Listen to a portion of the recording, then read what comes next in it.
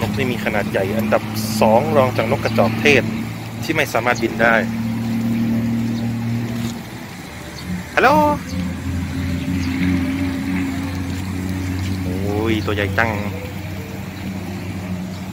อีมู หัวยังกับนกยุง ตัวยังกับไก่งวง ปากแหลมยังเลย